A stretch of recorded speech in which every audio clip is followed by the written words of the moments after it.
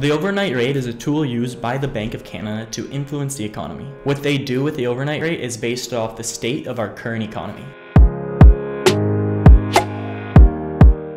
Before we get in this video, if you find any value, please like, subscribe, share this video with a family or a friend, do all that YouTube stuff because it helps my channel grow and reach more Canadians who are looking to learn about the mortgage and real estate industry. So over the past couple of months, the Bank of Canada has been increasing the overnight rate rapidly. From all-time lows in January of this year at 0.25% to now up to 3.75%. The overnight rate is the rate at which banks exchange funds on the overnight market. So when the overnight rate increases, banks have to adjust the rate at which they lend money out, which is also known as the prime rate. So why does the Bank of Canada make changes to the overnight rate? Well, the Bank of Canada's monetary policy is to keep inflation low and the economy stable. So it's their job to, if the economy is growing too quickly or inflation is running rapid, slow down the economy, or if the economy is struggling, kickstart it into growth. So now you may be wondering, why do rate increases or decreases heat up or cool down the economy? Well, when the economy is growing too quickly, increasing rates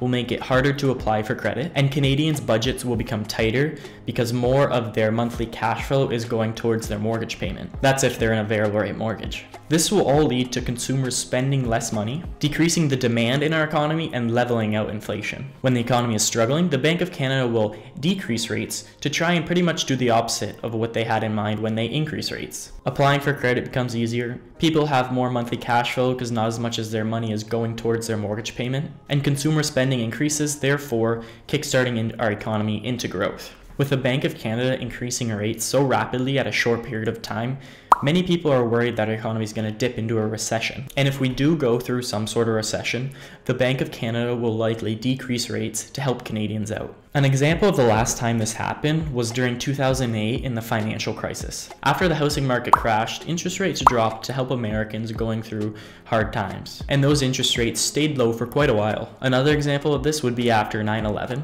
When the economy was impacted by the horrific attack, the insurance, tourism, and airline industry took a massive hit. There was a ton of uncertainty in the market, and the central banks decreased rates to help out the economy. So I hope this video helped give you a better understanding of how central banks can influence an economy. If it did, please like, subscribe, share this video with a family member or friend because it'll help my channel grow and reach more Canadians looking to learn about the mortgage and real estate industry. Don't forget, I have those three free guides to help homeowners or future homeowners navigate the real estate industry. The first is the first time homebuyers guide with a first time homebuyers checklist included. The second is a refinancing guide if you're thinking of refinancing your home to access some equity or change your mortgage landscape to better match your lifestyle. You definitely go check that guide out. And the third is you found your dream home, now you need to obtain financing for it. Definitely go check those out, links in the description below. If you have any questions, make sure to ask them in the comments. I'll be sure to answer all of them. I also have my calendar link below, so if you want to book a one-on-one -on -one call with me,